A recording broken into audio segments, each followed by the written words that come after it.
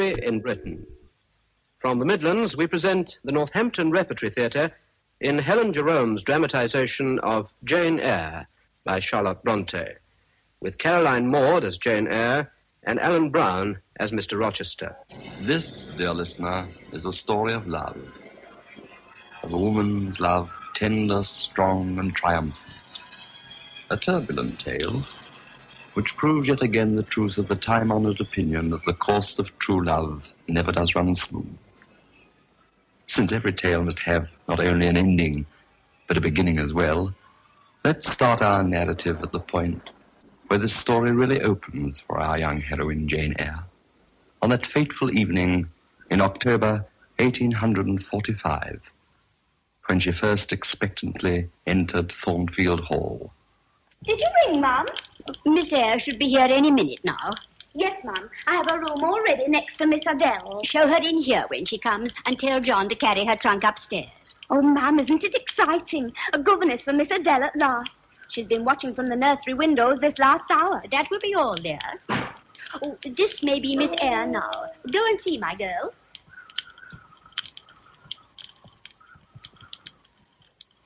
Will you come this way, Miss Eyre? Miss Eyre, Mrs. Fairfax. How do you do, my dear? I'm afraid you've had a tedious ride. You must be cold. Come to the fire. Mrs. Fairfax, I suppose. Yes. Now, do sit down. Now, let me help you off with your bonnet and shawl. Your gloves, dear. Oh, please don't bother. Indeed, it's no bother. And I dare say your hands are quite numb with the cold. Leah has made a little hot negus and cut a sandwich or two. There, my dear. Thank you. Shall I have the pleasure of seeing Miss Fairfax this evening? What did you say, dear? Shall I see my pupil, Miss Fairfax, soon? Oh, you mean Miss Varens. Adele Varens is her name. Oh, then she's not your granddaughter. No, I have no family. I'm so glad you are come, Miss Eyre. It will be quite pleasant living here with a companion. Thornfield is a fine old hall, but you know, in winter one is dreary alone. But my pupil. Oh, she's company enough, but she only arrived a few weeks ago. I was glad. A child makes a house alive. And now you. I shall be quite gay. I know you're going to like Thornfield. It's lovely here in spring and summer. If only Mr. Rochester would take it into his head to reside here permanently. Mr. Rochester? Who is he? The owner of Thornfield. I thought it belonged to you. Bless you, child, what an idea. No, I'm only the housekeeper. I'm distantly related to Mr. Rochester, but I never presume on it. And the little girl, my pupil? She is Mr. Rochester's ward. She's French. I can hardly understand her when she speaks, for she mixes the English so with the French. It sounds quite heathenish. Does Mr. Rochester ever come here? Oh, yes, but never for long. He hates the place. Hates it? Yes, hates it. When he does come, it's always unexpectedly. He's a strange man. Wanders round the world most of the time. Never laughs. He sounds unhappy. People who wander around the world all the time are usually running away from something. Some ache they want to pretend isn't there. Oh, he's not strikingly peculiar, my dear. But when he speaks to you, it's hard to know whether he's in jest or earnest.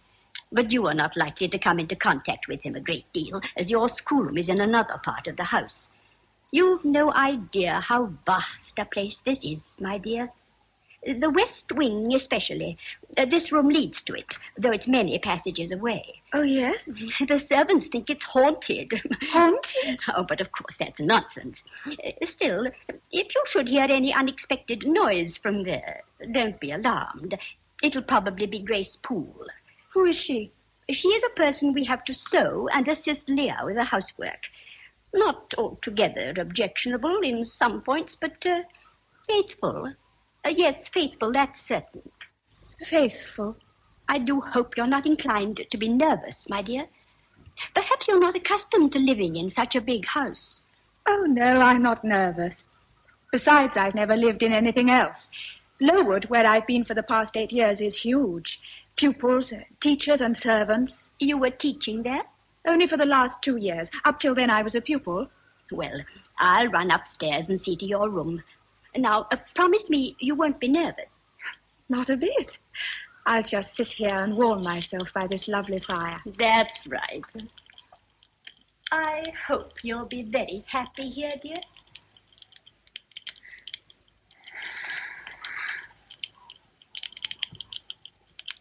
And who might you be? Oh, sir. Where did you come from? Have you descended from a moonbeam, or are you a discontented hamadryad escaped from your oaky prison? I am just Jane Eyre, the new governess. Oh, deuce take me, I'd forgotten. The new governess, just Jane Eyre. Well, don't you want to know who I am? I have no such unwarrantable desire, sir, except to wonder at your form of address and what you are doing here. There's a famous sting for me. What indeed am I doing here near the casket of my treasure? Why am I in the vicinity of this great house with its ivy covered battlements, its old ancestral trees, and its smoothly shaven lawn? Is it not an earthly paradise? I've seen little of it yet, but as far as I have seen, it certainly seems so, externally. But who then are you? Only the owner of the house in which you seem so much at home. Oh, excuse me, sir. I didn't know you had arrived. Well, you know now. Kindly tell Mrs. Fairfax I'm here. Certainly, sir. At once. John? John! Welcome home, Master. Oh, there you are, John. Do you see to my horse? Sure. It was the first thing I did the very minute I heard your honour was home. And a fine sweat the poor beast was in. Well, rub him down, and don't give him any water till he's dry. Yes, your honour. And, sir, if you please, Well, what is it you want to bother me about? Tis about the West Wing, sir. What have you to do with the West Wing? Well, not a thing, thanks be to God, your honour, uh, saving your presence. Excepting, the other night, Grace Poole sent for me to fix on the hinge to one of them doors. And as sure as I'm alive, sir, the place is haunted. Did you see anything? Oh, no, sir. But I heard the most awfulest screech, like one of them banshees we have in the old country. And then the creature laughed, and the heart of me body was likely to freeze. An owl hooting, probably. What was Grace Poole's explanation? Sure, she accused me of being tipsy. Said I'd better give up my drop of toddy. Well, the only comfort a man has these cold nights. She may have been right. If there's a ghost there, it need not trouble you, John. Keep out of that wing, and see that none of the other servants become hysterical over this nonsense. I will, sir. It's quite likely some owls have made their nests in the battlements. There are no ghosts. Would that there were. That will be all. You may go. Yes, your honour. Oh, Mr. Rochester, why didn't you tell me? Let me know you were coming. I would have sent John with the carriage to meet you on the road. Come in, Adele. Oh, cher monsieur, how happy I am to see you. I wish to be embraced. Now, don't be fussy, Adele. Are you being a good girl? Mais oui, monsieur.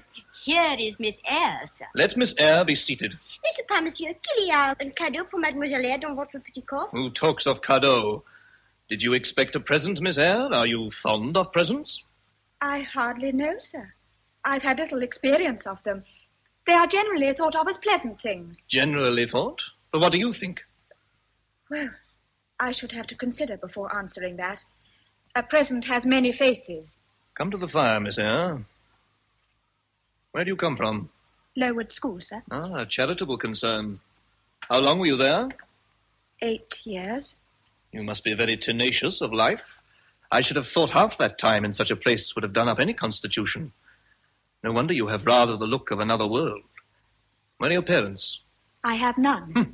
Never had any, I suppose. You were brought hither by the men in green, I dare say. The men in green forsook England a hundred years ago. I don't think summer or harvest or winter moon will shine on their revels more. Who recommended you to come here? I advertised, and Mrs. Fairfax answered. Yes, and I'm thankful that the choice Providence led me to make. Don't trouble yourself to give Miss Eyre a character, Mrs. Fairfax. Eulogizing will not bias me. She began by questioning my right of entry into my own house. Have you ever lived in a town, Miss Eyre? No, sir. You have never mixed with people. Only the pupils and teachers at Lowood, and now the inmates of Thornfield. Inmates? Leah says there is a ghost in the West Wing. It gives me to fear. Nonsense. If Leah says it again, she'll be discharged. Oh, but monsieur, I have heard myself. the noise is terrible sometimes. Miss Eyre, take your charge away to the schoolroom. Be off with both of you. Oh, Come, Adele. I hope you will not allow this French monkey to fill your head with nonsense about ghosts. You don't look like a fool, but you are a woman. I don't believe I'm more so than the average. The average will be quite foolish enough. May I embrace you, cher monsieur? You may not. Be oh, off. Oh, Adele, come, Miss Eyre. I'm sure you would like to see your room. Oh, thank you, Mrs. Fairfax. Yes, indeed.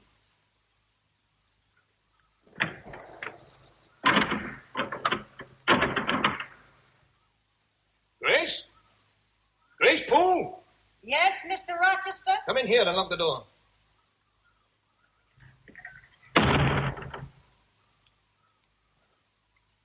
Can't you do anything about that infernal noise? I thought you'd managed to stop her. Have you ever tried stopping her doing something she set her mind on, sir? I have a new governess in the house, and I don't want her frightened away. Unless I punish her, I can't stop her making a noise. She gets worse all the time. Last night she tried to set the house on fire. When I caught her at it, she just laughed. Hysterical like. Laugh. It sounds more like fiends holding revelry in hell. What do you tell the servants? Anything I can think of. That it's owls hooting, the wind. But I can see that John doesn't swallow it. Well, those that don't can go. Mrs. Fairfax is the only one who knows those cries come from a human being. Well, You're a good soul, Grace, but keep your part of the west wing securely locked. Yes, sir, and you keep yours. When you hear her, she's managed to outwit me and get into this part of the house. I can't always be with her, and you won't have her chained. Though it might be better. Safer for you, sir. How so? She's been raving about you again. She'll do something terrible one of these nights. It's the one thing she's bent on. Now, don't worry about me. We can't chain her. She's human. Though God knows there's little sign of it left. Now, don't hurt her. And don't let her out of your sight. And Miss Poole, Yes, Mr. Rochester? see that none of the other servants enter that wing. Now, remember that. I'm raising your wages from tomorrow.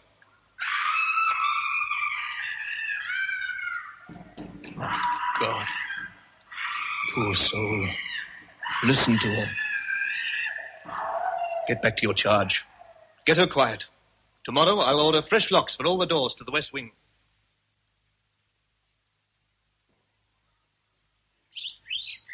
Now, you see, Adele, in this picture, the foreground only shows the dim peak of a hill with grass and some leaves slanting as if by a breeze. Above, you see an expanse of sky, dark blue as twilight.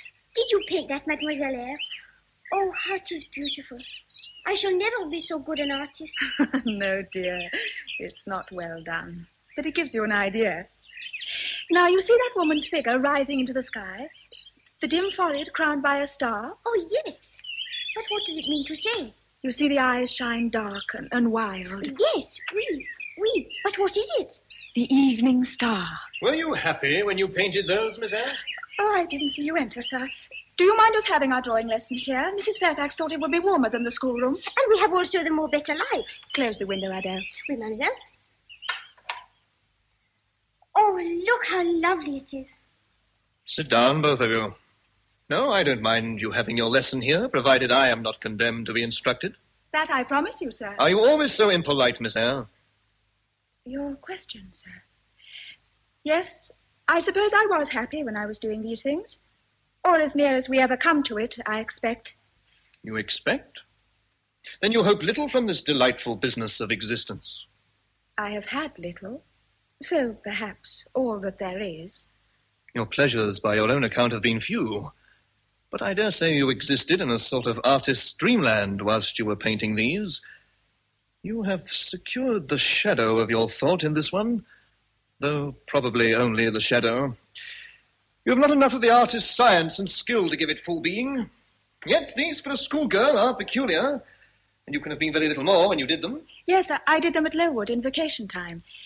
You see, I never went home. I had none to go to. Is this one entirely your own work? Probably a master helped. Oh, no, indeed. Ah, that pricks pride. Miss Eyre, you've been here about a month. I've not had time to find out certain things about you that arouse my curiosity. Now, answer my questions. I perceive that these pictures were done by hand. Was that hand yours? Yes, sir. Where did you get your models? Out of my head. And who taught you to paint wind? Well, there's a high gale in that sky, and on this hilltop. I'm surprised they taught you anything half so valuable in that awful place. Oh, they didn't. I was giving a lesson to Adele. Had I better continue? It's Saturday morning. Let her have a holiday. Off you go, child. Oh, merci bien, monsieur. you are very kind. So, you taught yourself to draw and paint, Miss Eyre. Can you play? A little. Of course, the established answer. I would like to hear you. Go in there. You know by this time that the best pianoforte in the house is through that arch. Oh, excuse my tone of command. I'm used to say do this, and it is done. I can't alter my habits. Go then and play a tune, Miss Eyre. As you wish, sir.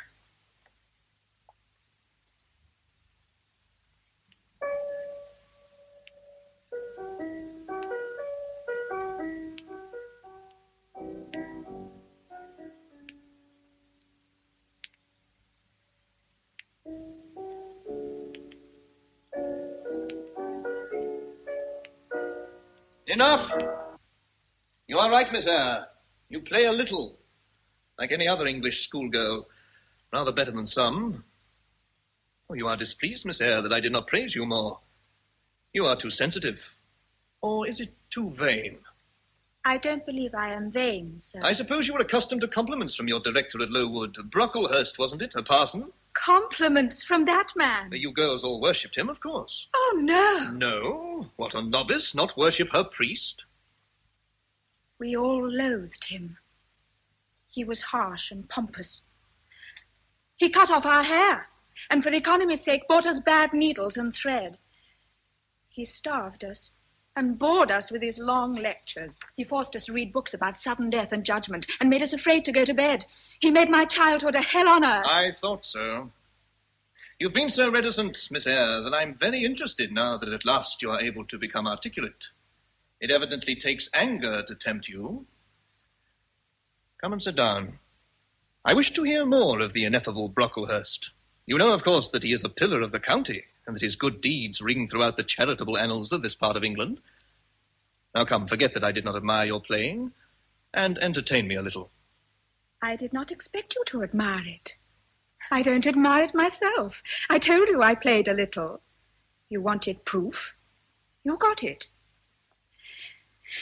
As for Brocklehurst and his good deeds, I think he is one of the worst men in the world. What sort of looking man is this Brocklehurst? He looks like a buttoned up black tadpole. He has cruel eyes and thin, bloodless lips. He wears greenish, rusty black clothes, shiny and Christian martyrish. Oh, he was hypocritical, bigoted, and mean. Hmm. What was his object in this persecution of you? to hurt something that is helpless. The memory of those awful years. When I was a child, I could have killed that man with these two hands. They are very small. And how did you happen to be in such a place? Very simply. After my father and mother died, I was left in the care of an aunt who hated me. How old were you? Five. When I was ten, she decided to put me into a charity school. Was she poor? On the contrary, she lived in a great house. But I was a discord there. I had nothing in harmony with Mrs. Reed and her children. So you were removed. But why to a charity school? My aunt felt she had spent enough money on me. I'm glad of it. I preferred not to owe her anything more. As soon as I was old enough, I started to earn my keep. I began to teach when I was 16. At the school? I remained there until I came here. Excuse me, sir, but your estate agent is in your study. Ah, well, in that case, I must go. I fear I have been encouraging Miss Eyre in some gloomy memories. But you are mistaken. They no longer make me gloomy. Well, the recital makes others so. I like bright faces around me. Well, have you any complaint to make of mine, sir? I apologize. You will not be bored so again. If that is meant for repartee, I do not care for it. I, I thought you said Mr. Rochester was not peculiar. Well, is he? I think so. He is very changeful and abrupt. He may appear so to a stranger, but I am so accustomed to his manner I never think about it. Besides, he deserves that some allowance should be made. Why? Partly because it's his nature, and we none of us can help our natures. and partly because he has painful thoughts. What about?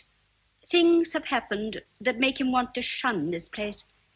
I don't know what they are, but I feel them. It's so difficult. One never knows how to take him. He hurts one so. You will be wise not to let him affect you in one way or another, my dear child. And when he is married, What? well, why not? He's like other men, and not yet forty. Of course. It's just that one doesn't associate him with domesticity somehow. My dear, you are so young and so little acquainted with men. I want to put you on your guard. I'm sometimes uneasy the way he makes a sort of pet of you, the way he likes to draw you out. And then turns and snubs me, as you saw just now. Do you call that making a pet of me? Only remember, dear, all is not gold that glitters. And when Mr. Rochester marries, it will be to someone in his own sphere of life. Why, only a few weeks ago he said to me, What if I determined to put my old bachelor's head in the sacred noose, Mrs. Fairfax? Was he serious? Oh, yes. He even mentioned her name, Miss Blanche Ingram. Have you ever seen her, Mrs. Fairfax? Indeed, I have. She came here to a Christmas ball and party Mr. Rochester gave. The ladies were magnificently dressed. Most of them were handsome, but Miss Ingram was certainly the queen. What is she like?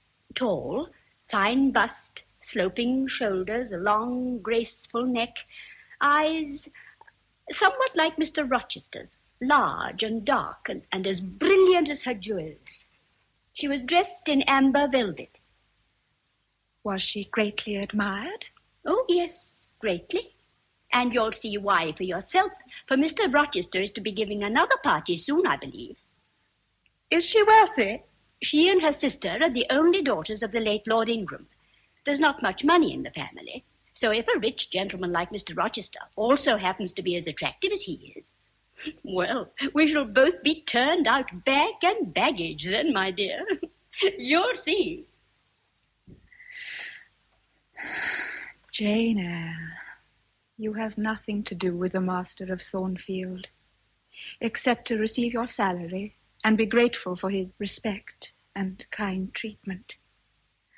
Be too self-respecting to give your heart where it's not even thought of, let alone wanted. Yes, and listen, Jane Eyre, to your sentence. Go and draw your own likeness in chalk. Don't compromise with it. And write underneath, Portrait of a governess, disconnected, poor, and plain.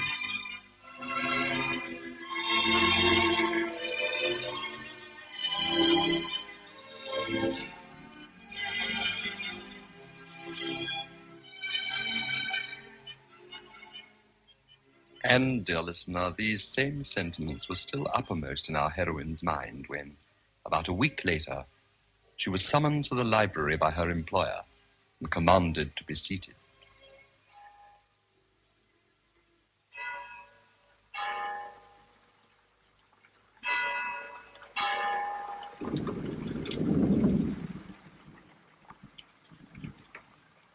Draw your chair closer, Miss Eyre. You're too far back.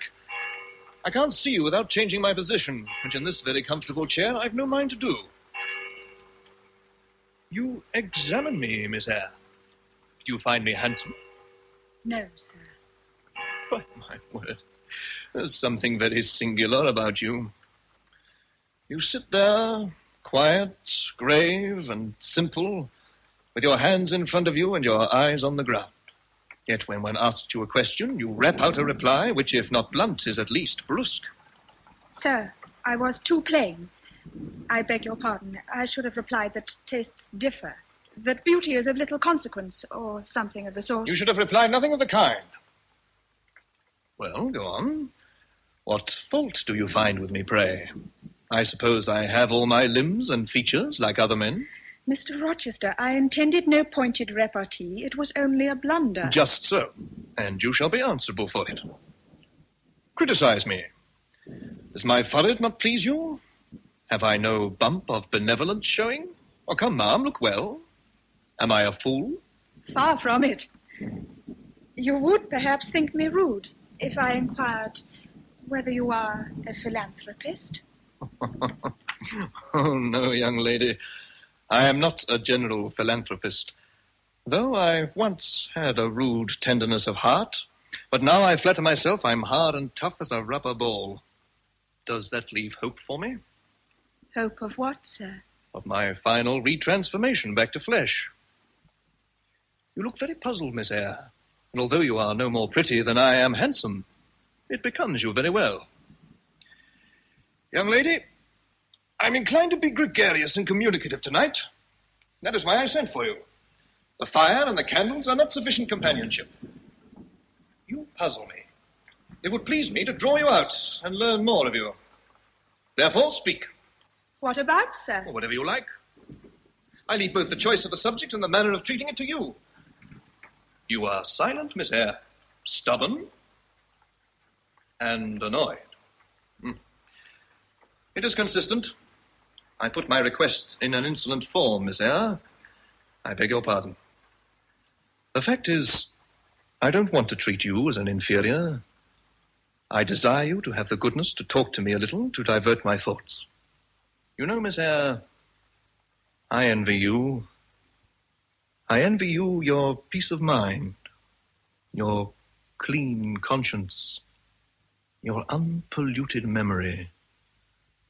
Oh, child, a memory like that must be an exquisite treasure.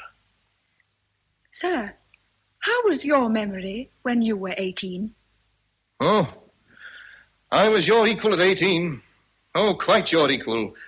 You see, I was meant by nature to be a good man, but you see, I am not. Uh, you will say you do not see it. At least I flatter myself I read as much in your eyes. Beware, by the by, what you express with that organ. You wonder why I admit all these things to you. Know that in the course of your future life, you will often find yourself the confidant of other people's secrets. They will realize that it is not your forte to talk of yourself, but to listen. Misfortune has caused me to degenerate. Dread remorse, Miss Eyre, whenever you are tempted to do wrong. Remorse is the poison of life. Repentance is said to be its cure, sir. But it is not. Reformation maybe. Now, I could reform, perhaps. A sweet thought comes to me that may heal me. My heart was a sort of charnel. It may now become a shrine. To speak the truth, sir, I don't understand you at all. I can't keep up the conversation. It has got out of my depth. But one thing I can understand. You say you're not as good as you would like to be. If you try hard, you can be. Where are you going? To put Adele to bed. It's past her time. You're afraid of me because I talk like a sphinx? Your language is enigmatical, sir. And though I am bewildered, I am certainly not afraid. I don't want to talk nonsense, and I easily might, being utterly in the dark. Well, if you did, it would probably be with such a quaint, grave air that I should mistake it for sense. Come here. Sir? Adele is not ready to go to bed yet. You may be sure she's gone upstairs, dragging Mrs. Fairfax with her to try on the dress I brought home for her tonight. Yes, she's her mother's daughter. That French mother that charmed the gold out of my English breeches. You see, I've been green too once, Miss Eyre. No more vernal tint freshened you than once freshened me. My spring is gone. But it has left me with that little French floweret on my hands. I rear her on the Roman Catholic principle of expiating numerous sins with one good work. You talk in riddles. oh, do I? Oh, no matter. I'll explain all this some day. Good night. And say good night to Adele for me, too.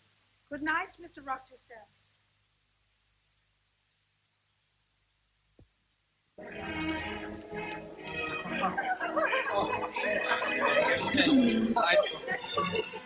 It's nice to see Mr. Rochester so gay.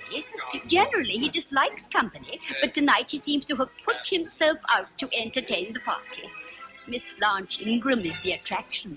He evidently prefers her to any of the other ladies. I told you he admired her, Jane. And she him. Look how she leans her head towards him.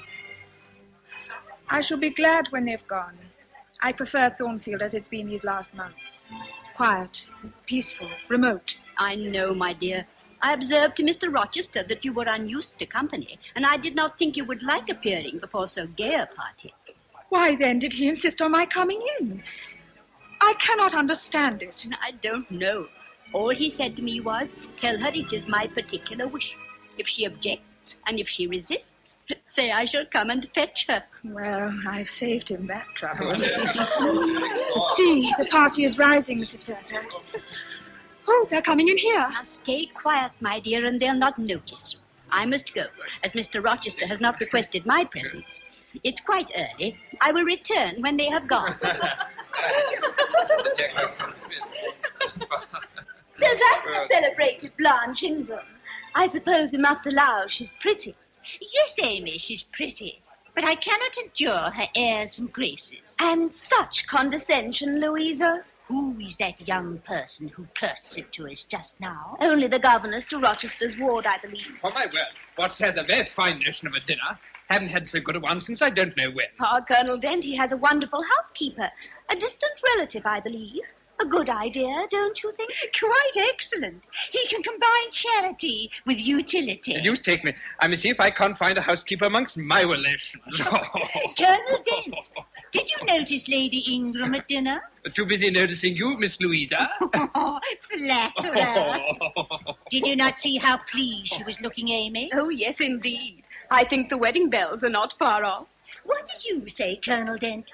Is not Miss Ingram a chance such as Mr. Rochester will be likely to take? Upon my honor, Miss Louisa, I dare not swear to his taste in female beauty. Most gentlemen would admire her, I suppose. Well, if he likes the majestic, Miss Louisa, she is a bare epitome of majesty. Look, here they come. Lady Ingram's dress is certainly magnificent. But that awful daughter. Thank you, dear Rochester. It's been a delightful evening, really quite delightful. But it's getting late. We have a 20 mile drive before us. Not yet, Mamma. Mr. Rochester has promised to sing a duet with me before we leave. I wish to try his voice. By the way, Mr. Rochester, I thought you were not fond of Oh, children. nor am I. Then where did you pick up that little French doll I hear you have here at Thornfield? I did not pick her up. She was left on my hands, Blanche. You have a governess for her? I thought I saw a person here just now. Is she gone? Oh, no. There she is. Quite expensive, I should think, two extra people to keep. Oh, I have not considered the subject. No, you men never consider economy and common sense. Oh, come now, Miss Sponge. By my honor, oh, that's oh, very... Oh, I've had a dozen governesses in my time at least. Half of them detestable, the rest ridiculous. You should hear Mamma on the subject of governesses. Don't mention governesses. I have suffered a martyrdom from their incompetence and caprice. Not that I ever suffered much from them. I took good care to turn the tables. Theodore's tutor and my governess actually took the liberty of falling in love with each other. Dear Mamma, as soon as she got an inkling of the business, discovered it was of an immoral tendency. And I was quite right. Depend on it. Liaisons between governesses and tutors should never be tolerated in a well regulated house. Here, here. Firstly, Oh, they- gracious Mamma, spare us the enumerations. We all know them. I move the introduction of a new topic. Mr. Rochester, do you second the motion? I support you on this point, Blanche, as on every other. Then, dear Rochester, I lay on you my sovereign behest to furbish up your lungs in my royal service. Commands from Miss Ingram would put spirit into a jug of milk and water. Who would not be the Rizzio of so charming a Mary? Rizzio. I like Black Bothwell better. To my mind, a man is nothing without a spice of the devil in him. Ah, do you hear that, Dent? Do you resemble Bothwell? I should say the preference rests with you, sir. Upon my honor, I'm very much obliged to you. Do you endorse that? Look in the mirror. Rizzio serenaded his lady. Will not Mr. Rochester be at least as gallant? Oh, yes, do let's have a song. Upon my soul, an excellent way to finish a very charming evening. Let them sing together.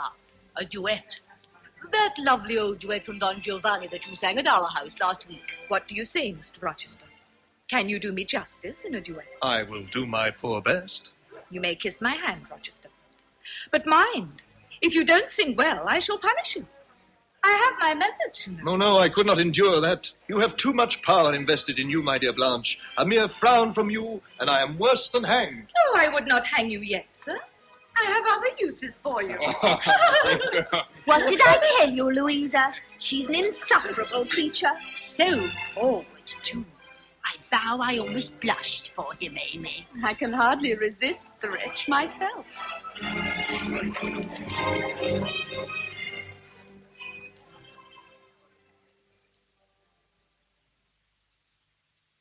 Meanwhile, at Thornfield as elsewhere, winter gave way to spring, and the April evening when we resume our strange love story was mild and fragrant. Ah, are you alone, Mrs. Fairfax? Where is Miss Eyre? She always likes to be in the orchard at this hour, sir. She said yesterday that these evenings were as if a band of Italian days had come from the south like a flock of glorious passenger birds. Hmm. she says the queerest things. Poets are always queer to the rest of us. You think her a poet? She likes nooks and secret places. A strange little soul. Yes, Mrs. Fairfax, I think her a poet. And for that, born to suffer. She haunts the place where silence reigns and gloaming gathers. Do you get the combined sense of an English evening, ma'am? Come over here by the window and drink them in. And look, there's Jane's little form. Do you see her? Yes, she's cutting some flowers for your table, sir. You have not ridden over to Lord Ingram's lately. To be sure, Ingram Park is twenty miles away, but Miss Blanche is beautiful enough to be worth it. You remember you mentioned something. And being female, the mere hint of a wedding imprinted itself on your mind. Did you mention the possibility to Miss Eyre? Well, yes. The other night, just after the party. Was Miss Eyre impressed by the beautiful Miss Ingram? Oh, yes. She thought her very lovely. And very suitable, no doubt. She was pleased at the idea of Thornfield having a mistress? I fancy she was glad to think that you'd not be alone any more. Oh, very thoughtful of her. So you have both married me off to the Honourable Miss Ingram. Is the lady aware of your plans? Oh, but Is Miss Eyre under the impression that she will continue to walk in the orchard at Thornfield when it has a mistress? here she is now. She can speak for herself. Oh, Mrs. Fairfax, I do love this place. How shall I ever be able to bear leaving it? I think you have received your answer, Mr. Rochester. You may go, Mrs. Fairfax. I didn't notice you there, sir. I too will wish you good night. You will do nothing of the kind. So you find Thornfield a pleasant place. You can imagine it in summer. Yes, it must be beautiful. You will have become in some degree attached to the house. You have so much feeling for beauty. I am attached to it. Pity. Still, life is always like that. No sooner have you become planted in a congenial soil than some rude gardener, fate perhaps, uproots you. You must rise and move on. Must I move on? Must I leave Thornfield? I believe you must, Jane. I'm sorry, Jane, but I believe indeed you must. Well, I shall be ready when the order to march comes. The order to march has come now. I must give it tonight. Then you are going to be married. Exactly. With your usual acuteness, you have hit the nail straight on the head. Soon? Quite soon, my Miss Eyre. And you'll remember, Jane, when Mrs. Fairfax plainly intimated the possibility to you that it was my intention to take the Honourable Miss Ingram to my bosom. She's quite an armful, by the way. Although, of course, one can't have too much of a good thing, can one? But you're not listening to me, Jane. Do you remember you said that if I should marry, you and Adele would have to go forthwith? You did say that, didn't you? Yes. To Mrs. Fairfax. Hmm, yes. I'll pass over the slur on the character of my beloved. Indeed, I'll try to forget it, and remember only its wisdom, which is such that I've made it my law of action. Adele must go to school, and you, Miss Eyre, must get a new situation. Very well. I will advertise immediately. And in the meantime, I suppose I may stay here until I find myself a new position. Certainly. I consider that when a dependent has done her duty as well as you have done yours, she has a sort of claim on her employer. In fact, I've already heard of something that I think will suit you. It is to undertake the education of the five daughters of Mrs. Dionysius O'Gall of the Bitternutt Lodge, Connaught, Ireland. Ireland. It's a long way off, isn't it? From what, Jane? From England, from Thornfield, and Well, from you. The thought of Mrs. O'Gall and Bitternutt Lodge strikes cold to my heart. It's such a long way. it is indeed, Jane. And when you get to Bitternutt Lodge, Connaught, Ireland, I shall never see you again. That's morally certain. So come, let's sit comfortably on this last evening we shall spend together, like the good friends we've been. It's a long way to Ireland, Jane. I'm sorry to send my little friend on such a long, weary travel, but how is it to be helped? Are you anything akin to me, do you think, Jane? Because I have a strange feeling with regard to you, especially when you're near to me like this. I love Thornfield. I've lived since I entered it. I've known you, and it fills me with terror and anguish to think I shall never see you again. I see the necessity of departure, and it's like looking at the necessity of death. Where do you see the necessity? Where? Well, haven't you just placed it before me? In what shape? Miss Ingram's your wife. My wife? I have no wife. But you will have. Yes, I will. Then I must go. You said it yourself. No. You must stay. I tell you I must go. Do you think I can stay here to become nothing to you? Do you think because I'm little, obscure, poor, and plain, I'm also soulless, heartless? I've as much soul as you, and more heart. And if God had gifted me some beauty and much wealth, I should have made it as hard for you to leave me as it is now for me to leave you. Oh, I'm not talking to you now through the medium of conventionality or of mortal flesh. It is my spirit that addresses your spirit, just as if we both had passed through a grave and we stood at the feet of God, equal, as we are. As we are. Yes, and yet not so. For you are going to marry a woman who is inferior to you, and whom you do not love. I would scorn to do such a thing. Therefore, I am better than you. Jane. Let me go. Where? To Ireland? Jane, be still. Don't struggle so like a wild, frantic bird in the net. I'm no bird, and no net ensnares me. I'm a free human being with an independent will. And your will shall decide your destiny. I offer you my hand, my heart, and a share of all my possessions. I ask you to pass through life at my side. You have made your choice. You must abide by it. Come to me, Jane. It is you that I love.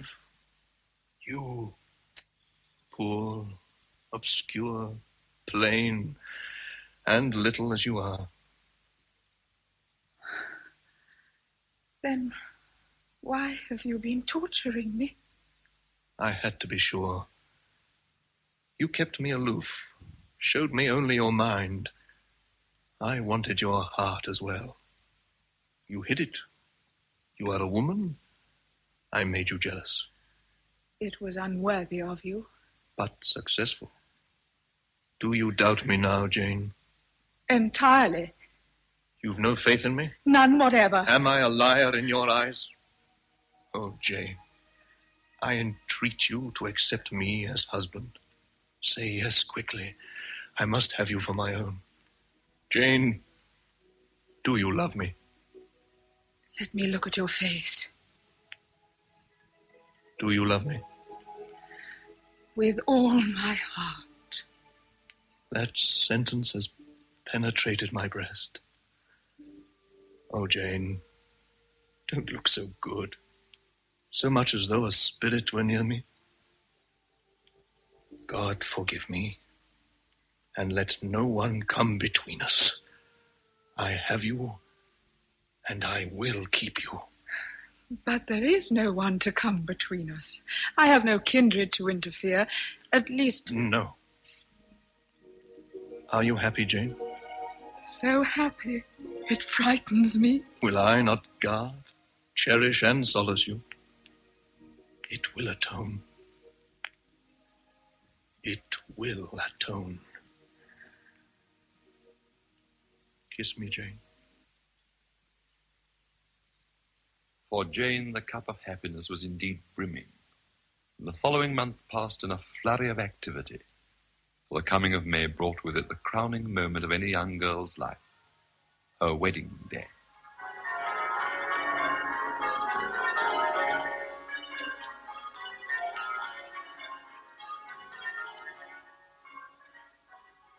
It's a good thing the church is only just across the, the meadow, Leah. Miss Eyre won't spoil her little white shoes. Yeah, what a picture she does look in her bridal frock. I could hardly keep from telling her as I fastened it up a little while ago. She seems to have grown quite pretty lately. Happiness is a wonderful beautifier, my girl. Ah, it's a pity we can't all have a little more of it. Aye, it comes from being in love, ma'am. It's a grand medicine. It's time they were downstairs. We must be getting ready to go over to church. I wonder if the minister is there yet. Oh, but of course he is. He's even nearer than we are. Never fear, ma'am. Mr. Wood's never been late for a wedding yet. Not even his own, more's the pity. Leah, a man of God, you shouldn't really. Twas him as married Mr. Rochester's ma and pa, ain't it, ma'am? Eh, I wonder what the old folks would have said to this wedding. It'll be a sweet wedding, howsoever, won't it? Eh, look at the sunshine. Yes, God does seem to be smiling on them. They both seem marvelously happy. It almost frightens me when people are so happy. Don't seem to last long as a rule, does it, ma'am? But if I was Miss Eyre, the first thing I should do when I got back from my honeymoon in foreign parts, I'd lock up that west wing. You take it from me, ma'am, that west wing is haunted, so it is. Oh, Leah, really? I know what I know, and I'd send that horrid Grace Poole packing too. Oh, that woman fair gives me the creeps. Sneaking and creeping about all over the place and never speaking a word to a soul. I know that, that... will do, Leah. Now run along and see if John's in his livery yet, and give a final brush up to yourself. Very good, ma'am. You ought to look your best when you have the honor to witness your master's marriage. Good morning, Mrs. Fairfax. Is, isn't Miss Eyre down yet? I want to take her over to the church myself. I can't wait for her there. Now go and tell her to come at once. Oh, couldn't you try to be a little calmer, sir? Calm? Calm when my whole hope of life is at stake? Let you hurry. I'm here. Oh, Jane. Jane, that this day were safely over, and you safely mine, and that no distance divide us ever again. But we're going to be married in a few minutes. How can distance divide us after that? Think of it. We shall soon be on our way to France. I shall see the mountains, the oceans. We shall leave Thornfield the moment we're married. Very well. You said that with such a strange smile. What's this bright spot of color and this? And why are your eyes glistening? Aren't you well, child? I believe I am. You believe? What's the matter? Tell me what you feel. I wish this present moment would never end. I can't believe this is really happening to me. You've been excited, Jane, overtired. Well, do you feel calm and happy? Calm. Yes. Happy. Yes. Well, now it's time. Wood must be already in the church. God forbid he should be late. What are you dreading?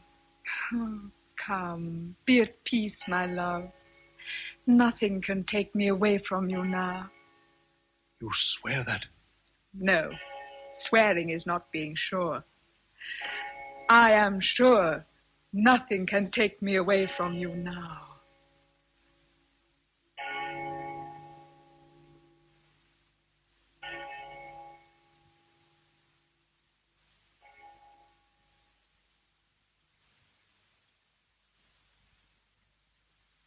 Mrs. Fairfax, bring the smelling salts. Yes, sir, at once. I'll Put Miss Eyre down here on the sofa. There. Now then, Wood. An explanation. Surely that is due to me, Mr. Rochester. You should have proceeded with the ceremony. What right had this fellow bursting into your church, interrupting a marriage? But I couldn't possibly perform a marriage which I am told is illegal without proper investigation. You know that as well as I. This man claims that an impediment exists. Isn't that so, sir? An insuperable one. What is its nature? Mr. Rochester has a wife, Lily. Who are you? My name is Briggs. solicitor of Arundel Street, Strand, London. And you would thrust a wife on me? I would merely remind you of the lady's existence, which the law recognizes if you do not. Favor me with her name, parentage, and home. Kindly read the document, Mr. Briggs. I affirm that on October the 20th, 15 years ago, Edward Fairfax Rochester of Thornfield Hall in the county of Millcote was married to my sister, Bertha Antoinette Mason at St. Luigi's Church, Spanish Town, Jamaica. The record of that marriage can be found in the register of that church. Signed, Richard Mason. Well, that, if genuine, may prove that I have been married, but not that my wife is still living. She was living three months ago. How do you know? I have a witness to the fact. Produce him. Mr. Richard Mason, please. You called me, I believe. We did? Well, what have you to say? Come on, damn you! Is Mr. Rochester's wife still living, Mr. Mason? She is, Rector.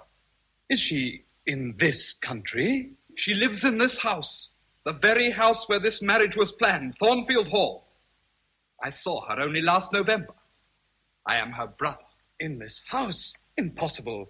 I am an old resident of this neighborhood, and I've never heard of a Mrs. Rochester. How does it happen that you arrived just at this moment?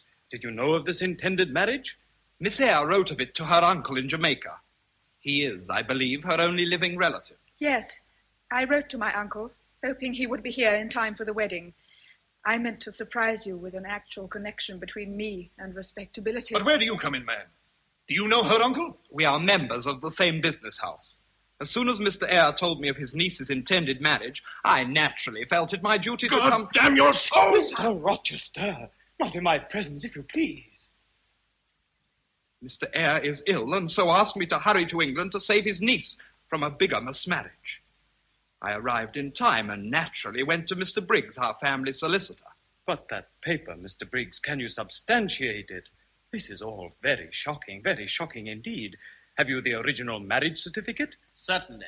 I have the original certificate here. I still cannot believe. I cannot believe. Enough of this. I'll out with it. Yes, I meant to be a bigamist. Ah, Mr. Rochester. But Providence checked me. I'm little better than a devil at this moment. And as my pastor there will no doubt tell you, probably deserving the sternest judgment of God. My plan is broken up, gentlemen. You say you've never heard of a Mrs. Rochester. Well, come along to the West Wing, all of you, and I'll present her. You shall make the acquaintance of the mistress of Thornfield. This way, gentlemen. You too, Mason. Come and meet your sister again. Rest here, Jane, my dear. Please wait until we return.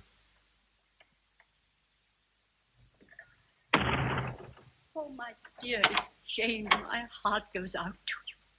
What can I do to help you in your sorrow? My life is empty. How blind have been my eyes. How weak my conduct. What will you do? My prospects are desolate. I should have foreseen. But not this. Not this. Leave me to my bitter hour, please. Please leave me. As you wish.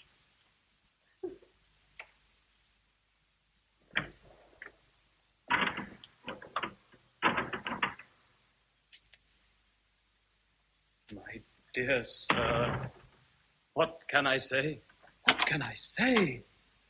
I always understood it was your sister who was mentally ill, and whom you were guarding for her own good. Some of your parishioners decided that the lunatic was my cast off mistress. Well, now you have seen her. My wife. Yes, she is mad. A homicidal maniac. A fact I discovered after I had married her. She's also a drunkard. Oh, dreadful, dreadful. Oh, yes, my life has been one long poem, I assure you would. Though no doubt even you, whose profession insists that God sends all tribulations for our own good, must wonder whose good has been achieved in this instance. Hers or mine? God's ways are in. Thus spare us, my dear rector. You all saw my wife a few moments ago when we entered her room. You saw her spring at my throat and try to fasten her teeth into it. Well, this sort of thing is evidently the sole conjugal embrace I am ever to know. The only endearment that is to solace my leisure hours for the rest of my life. Judge now whether I had the right to seek something human. This girl here knew no more of my secret than you did. I grew to care for her. Look at her now as she sits here, grave and quiet at the mouth of hell. Compare these clear eyes with those mad ones you've just seen. This delicate body with that other. This pure face with that drunken mask in there. And then judge me. Priest of the gospel, a man of the law. And remember, you will be judged one day. And now away with you! All of you! Mason, come along. Rector, we had better go. Yes. N- no blame attaches to you in this matter, Miss Eyre. No blame whatever. Oh, Jane. Why don't you weep, my darling? I see no trace of tears. Only that terrible white crucified face. Not one word of reproach. God knows I never meant to hurt you.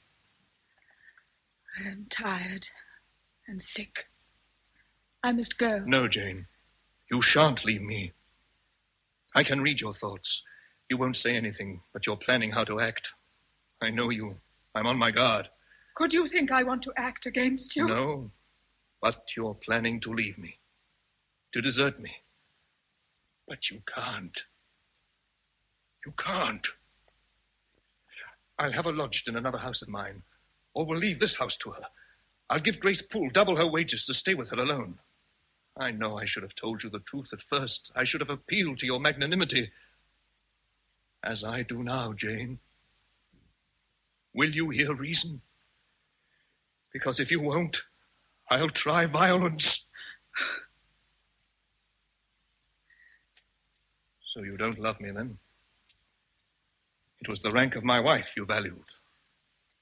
Now that I'm not to be your husband, you can't bear my touch. This is unworthy of you. I love you more than ever. But I will leave you. But why? Why? Why? Your wife is living. If I lived with you as you desire, I should be your mistress. To say otherwise is false. Jane, I'm not a gentle tempered man. I'm not cool and dispassionate. I'm not long enduring. Out of pity for me and for yourself, feel my pulse. Feel how it throbs. And beware. I will not be yours. Do you mean to go one way in the world and leave me to go another? I do. So you defy me. Never was anything at once so frail and yet so indomitable. I could bend you with my thumb and finger. But what good would it do to bend and crush you? Whatever I do with a cage, I can't get at the bird inside. And it's your spirit I want. Oh, Jane, for God's sake, don't leave me. Take one glance at my horrible life when you've gone. Where shall I turn for hope? Do as I do. Hope to meet in heaven. You're going? I'm going. You're leaving me? Yes. Forever.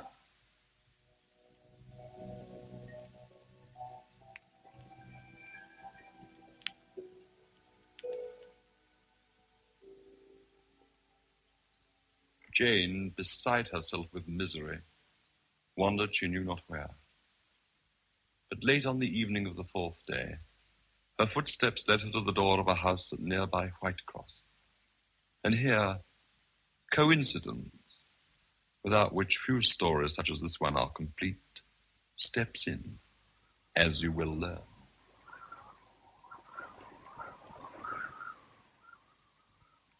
Listen, Hannah, I must read this to somebody. It's so beautiful. You won't understand a word of it, but listen just the same. The story is about Franz and Daniel, who are together in the night time. Franz is telling of a dream from which he woke in terror.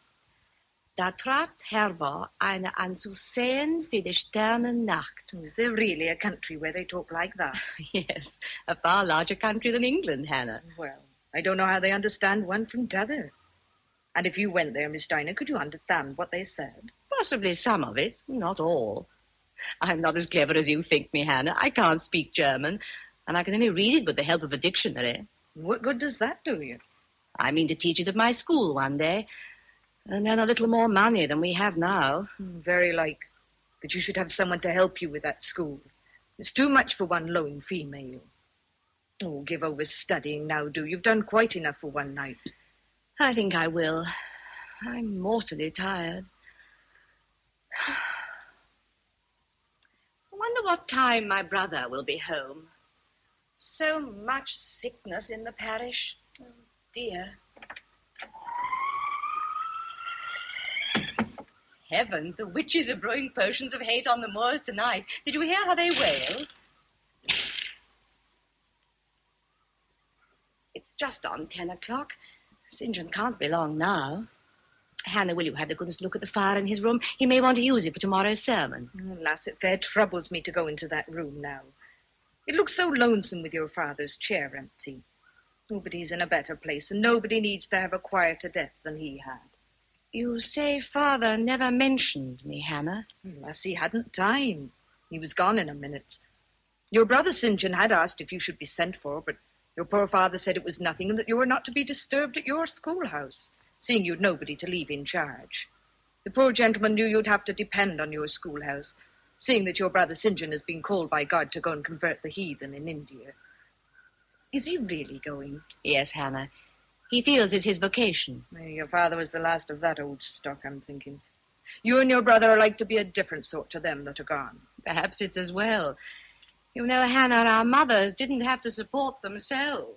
No, men had guts in in 'em once. He was able to provide for their women. Please, please, is anyone there? Oh, now whoever can that be at this time of night? Who's there? I'm a stranger. Well, I'll let you into your business. The wind's screeching to death for nobody. Come now, what do you want? What's your business at this hour in a respectable home? I want a night's shelter and a morsel to eat. Well, I'll give you something to eat, but we can't take in a vagrant. Well, where shall I go if you drive me away? Oh, I'll warrant you know what to do and where to go. Mind you don't do wrong, that's all. I've no strength to go further. Let me see your mistress. Indeed, I will not. You're not what you ought to be, or you wouldn't be in such a predicament. Now move off, I say. I must die if you turn me away. Not you. But if be like you've got any followers, housebreakers and such, well, we've got a gentleman here, aye, and, and dogs and guns. Whatever are things coming to? Folks ain't safe in their own homes these days. Hannah? Hannah, who is it? Why, she's a beggar woman, Mr. St. John. No better than she ought to be. I told her to move off. Hush, Hannah. Give her some milk, Hannah. Try to drink this warm milk. Not too much at first. Ah, restrain her. What is your name? My name is Jane Elliot. And where do you live? Where are your friends? Can we send for anyone you know? No, no, What account can you give of yourself? sir. I can give you no details tonight. What then do you expect me to do for you? Do with me as you like. I will trust you. If I were a stray dog, I know you would not turn me from your hearth tonight. Hannah, let her rest there a while and ask her no questions. Give her a little more milk and a morsel of bread. You must eat very moderately at first, after having abstained for some time. I trust I shall not eat at your expense for long, sir. No. When you have given me the address of your friends, I can write to them. In the meantime, my sister and I wish you to be our guest. I'm grateful. More than I can say. But I I cannot give you any addresses. I have neither home nor friends. No friends? A most singular position for a girl of your age. You've never been married? Why, she's not eighteen. I am 19, but I've not been married. No. Where did you last reside? Really, St. John, you're too inquisitive. The name of the place and the name of the person is my secret. Which you have a right to keep. Well, if I'm to know nothing of your history, how do you expect me to help you? You need help, do you not? Only to get work. My capabilities are important for that, not my private history. What then can you do? I was educated at Lowood Orphan Asylum. Yes. I left there a year ago to take a position as governess. I see. I was happy there until four days ago, when I was obliged to leave hurriedly. I left everything I possessed behind me. Poor little Jane Elliot. What? You said that was your name, Yes, I did. But it isn't my real name. and you refused to give it to us. Yes, I must remain lost. And your reason, I'm sure, is a good one. Oh, leave her in peace now, brother. Listen, my dear Miss Elliot, I have a plan to propose to you. I have a little school close by, and I need help badly. You mean it? You will let me stay here a- and work with you and be safe? You've suffered terribly. Anyone can see that. Now you're going to rest in bed for a few days. Hannah will nurse you back to health. Hannah, go upstairs and prepare my room for Miss Elliot. I'll sleep in the spare room. I'll make a fire there, too. The little creature looks almost frozen. I think they like she's sickling for the chill. You'll be well and strong in a few days. And after that, life will reflower. That's one blessing about youth. It does recover. A Christmas frost has come at midsummer. But there's always another spring. Not for me. But, my dear, you're so young. Life stretches before you. A white December has whirled over June. Drifts have crushed the blowing roses. I looked at my love. It shivers in my heart like a suffering child. My dear, what terrible sin was committed against you? Oh, do not ask me. I came into deep waters. The floods overwhelmed me. Yes, indeed. The floods overwhelmed me.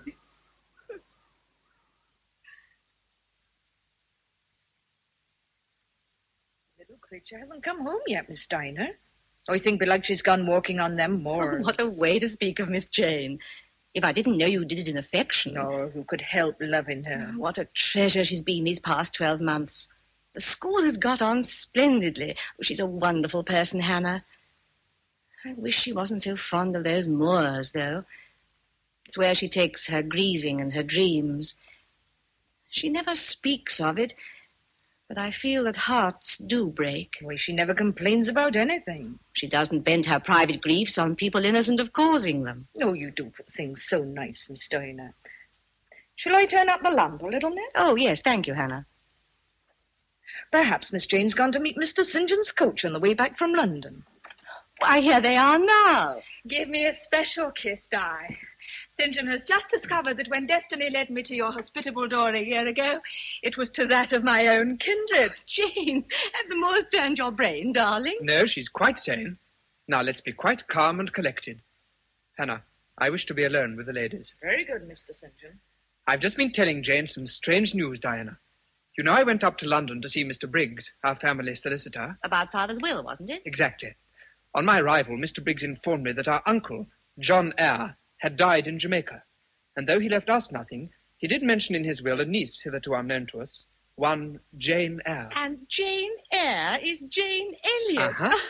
but how did you connect it with Jane? Well, Mr. Briggs told me how he'd searched high and low for a certain Jane Eyre, whom he had saved from a false marriage with a Mr. Rochester a year ago. Yes, He made inquiries at Thornfield, Rochester's place at Millcote, yes, yes. and was told there she had left on the night of the interrupted marriage. But, I remembered the conditions of Jane's arrival here, just a year ago, and asked him to describe her. The rest was easy. Did Mr. Briggs tell you anything of Mr. Rochester? Nothing. Mr. Briggs had received a reply signed Alice Fairfax, saying that you had completely disappeared, though they had searched far and near for you. Who searched for me? Was it Mr. Rochester? I presume so. Rochester must have been a scoundrel. Don't judge until you know the inner springs of a man's actions. Where is Mr. Briggs? He may know something of Mr. Rochester. I sometimes feel all is not well with him when I'm out on the moors. I doubt if the solicitor could help you, or if he is interested. In the meantime, you forget essential points in pursuing trifles. Trifles? Well, don't you wonder why Mr. Briggs searched for you? Why? Merely to tell you that our mutual uncle has left you all his property. You are now rich. I? Rich? An heiress? Yes, an heiress. You will, of course, have to establish your identity, but that will be a simple matter. ah, I see you smile at last. Perhaps now you will ask how much you are worth. How much? Twenty thousand pounds. Twenty thousand pounds, Jane, dearest. Well, if you'd committed a murder, you couldn't look more aghast. Well, it's such a large sum. Are you sure there's been no mistake? No mistake. But why was I chosen? Why more than Diana or you? Because Uncle John was asked by your father before he died to take care of you. Instead, he handed you over to a Mrs. Reed, his sister-in-law, and discovered she sent you to a charity school. He only heard about this six months before he died, and he salved his conscience by making you secure from now on. God bless him for that. For now we can stay together always. We shall divide the inheritance equally. You are just as much entitled to it as I. But it was left to you. Never mind. It would benefit me to have 6,000. It would depress me to have 20.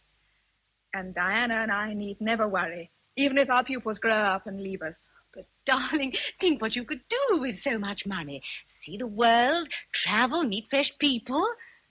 No. I crave more for family life. I've never had a home, brothers and sisters. But we are that to you now. Besides, you may marry, and your aspirations after family life and domestic happiness be realized that way. I shall never marry. I want my kindred. But there are higher things than domestic affections. One must use one's talents, listen to one's call from God. That's why I shall be leaving you next month. Are you really bent on India, St. John? My plans are unchangeable, and more easy of accomplishment now that Jane insists on sharing her inheritance with you. I, of course, will accept none of it. Oh, but St. John, please. Well, you darling, it's like a fairy tale, and you deserve to be the heroine. Oh, coming, Hannah. Jane. Jane, I go in four weeks. I've booked my berth in an East Indiaman. It sails on the 20th of May. You are going to do a great work, St. John, to convert the heathen. Have you no call to work for God, Jane? What does your heart say? My heart is mute. My heart is mute. Then I must speak for it. Jane, come with me to India as my helpmate. You are formed for labor, not for love. Not for love. Is that your opinion? I claim you not for my pleasure, but for my God's service. So you would wrap me in an iron shroud. Not for love? Oh, St. John, what do you know of that gift to humanity? You asked me to be your wife, and you've no more a husband's heart for me than a rock for a plant. You prize me as a soldier would a good weapon. Your scholarly mind, your character, your youth would be invaluable in my work. Jane, you would not repent marrying me. Enough of love will follow on our marriage. Your idea of love. Counterfeit sentiment. You see, I have known the reality. Oh, St. John, you are good with the terrible, devastating goodness of the unimaginative, which would soon kill me if I married you. Your words are violent, unfeminine, and untrue. They would seem inexcusable. Only it is the duty of man to forgive seventy times seven. I know to whom your heart is clinging. The love you cherish is lawless and unconsecrated. You are thinking of Fairfax Rochester. Yes, I want to know where he is, how he is, before I dispose of my life. God did not give it to me to throw away. But you wish to do something useful for your fellow creatures with that life. Marry me and come with me into God's vineyard. You tell me with your usual frankness that I'm not formed for love. Don't you mean your love? Then I'm not formed for marriage with one who admits that. Besides, you are too much my superior. Only love enables us to endure superiority, St. John. And I don't love you. Your nature is too impassioned.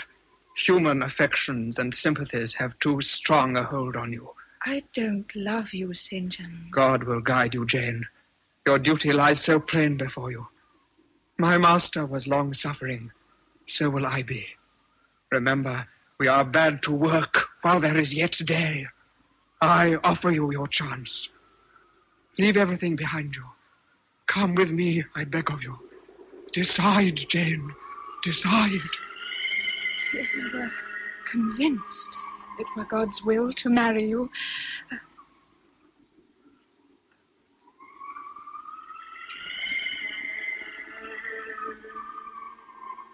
Wait.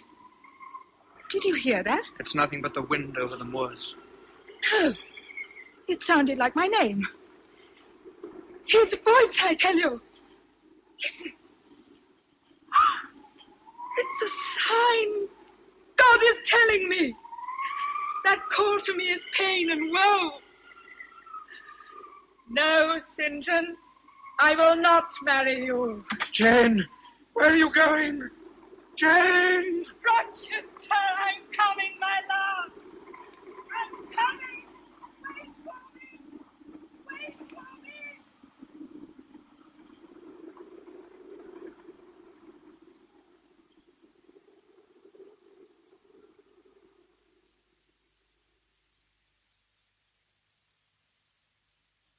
Mrs. Fairfax! Oh, Mrs. Fairfax, whoever do you think is here? Control yourself, Leah. Who can it be to cause you such excitement? Oh, ma'am, it's her own little self, all dressed up in spring muslin like a picture out of a fairy tale. But tell me who? Miss Eyre, ma'am, the master's bride that wants to be. Oh, whatever will he say? Shall she come in? Shall she come in? Oh, Jane, Jane, my dearest girl. Oh, why didn't you come before? Leah, don't mention Miss Eyre's arrival to anyone yet. Can I rely on you? Oh, ma'am, not for all the world. I understand. Take Miss Jane's bonnet and cloak, here. I'll call you if we require anything. Oh, we searched high and low for you, dear. Your going like that nearly killed him. But I understood. You did right, my child. Poor Jane. My heart bled for you. First tell me, is he well? He's away, I suppose. He's here, out there walking in the orchard, where he is every morning. Yes, he is well, but he is in great trouble. Yes, I know. That's why I'm here. Then you've heard. But it happened months ago. Why didn't you come then? Tell me. We had a dreadful calamity. Calamity? Tell me. Wait, my dear. Be patient with an old woman. A fire broke out in the dead of night about six months after you had gone. Oh. The whole west wing and part of the servants' wing was destroyed. The fire just stopped at this wall. Was she hurt? She was killed. And Grace Poole was suffocated by the smoke. How did it happen? It seems that Grace sometimes drank too much, and the poor mad creature came to realize this and used to watch for the times when Grace would be in a drunken sleep and escape from her quarters. Well, one night she managed to get as far as your old room and set fire to your bed, for there must have been some strange knowledge of you in that poor crazed brain. Then she went she went back and set fire to the hangings in Grace's room. The house was soon in an uproar. Then somebody called out that the poor demented woman was on the roof. And there she was, screaming and waving her arms about and laughing wildly, that long black hair streaming out against the flames. He went up through the skylight and onto the roof. I saw him approach her, and then she gave a scream and sprang forward. The next minute, she lay smashed on the pavement. And he, was he unhurt? Oh, my dear, prepare yourself. Please, please. The fire burnt his forehead and his eyes. He is blind. In trying to save her. It's like him. I'm grateful. Grateful he is alive. Wait till he hears your voice, my dear. Never was woman loved as he loves you. He searched for you as if you were the most precious jewel in the world. After you left, he grew savage. He wanted to send me away and to be left alone with his grief. But I wouldn't leave him. God will reward you. Ah, if I had only known. And and where is Adele? Oh, she's at school in France. He lives here alone, shut off with his blindness, proud and suffering. Alone. He will be alone no longer, Mrs. Fairfax. There he is. My poor darling. Look at him feeling his way with a stick, turning his sightless eyes up to the skies. Oh, Mrs. Fairfax. Be brave, my dear. Meet him with a laugh. You know he used to love to hear you laugh. You go now, dear Mrs. Fairfax. I must meet him quite alone, in, in my own way. Of course, my dear.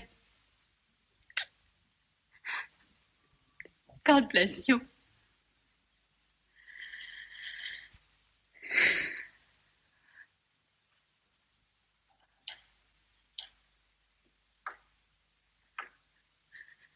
that you, Julia?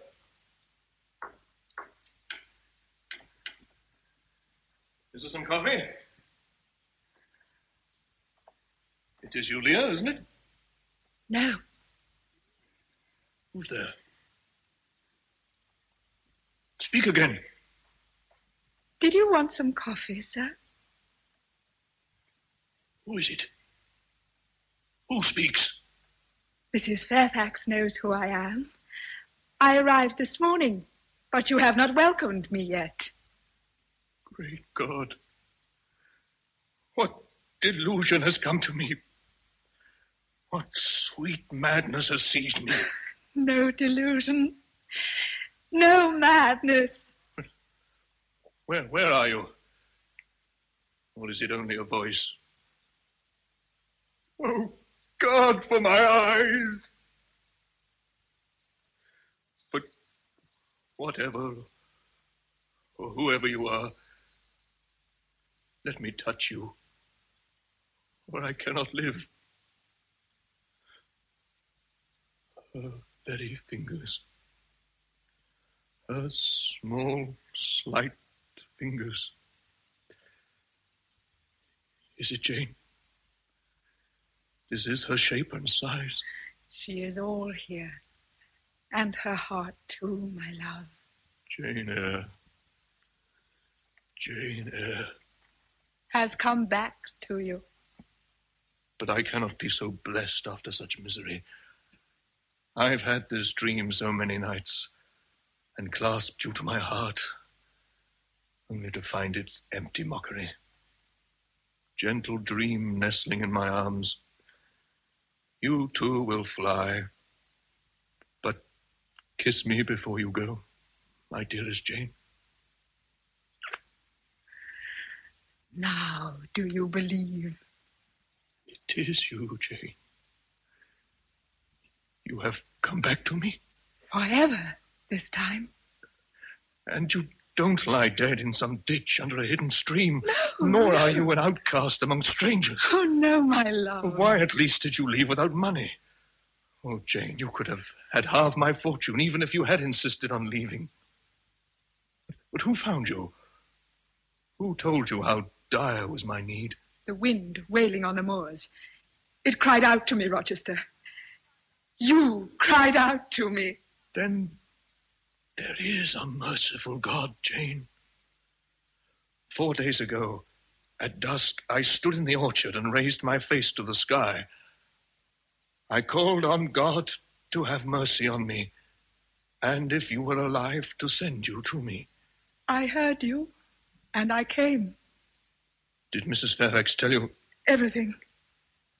and you will stay with me? I will be your companion and your eyes. You will not be left desolate as long as I live. But the world will call me selfish. You are young. Some day you must marry. I do not care about being married. If I were what I was, I'd make you care. But a sightless man? No. No, not for you, Jane. It is time someone undertook to rehumanize you. You are slowly being changed into a lion. Am I hideous, Jane? Very. You always were, you know. Oh, Jane. I want you for my wife. Will you marry me? With pleasure. A blind man? You'll have to lead by the hand. With joy. Oh, my darling. God bless and reward you. He is rewarding me. To be your wife is for me to be as happy as I can be on this earth. Come, give me your hand.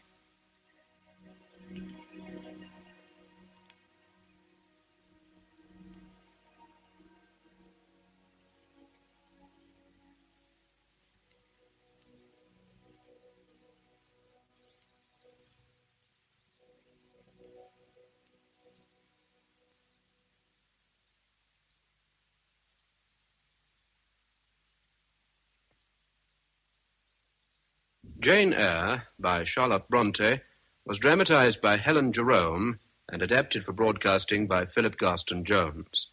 The cast was as follows Jane Eyre, Caroline Maud, Mr. Rochester, Alan Brown, Mrs. Fairfax, Vera Lennox. Other parts were played by Daphne Odin Pierce, Lisa White, Peter Montier, Nigel Goodwin, Lionel Hamilton, Glyn Jones, Margaret Denyer, Robert Mill, Janice Edgard, Cynthia Bizeray, and Norman Wingrove. The production was by Hugh Stewart and Lionel Hamilton in the BBC's Midland studios.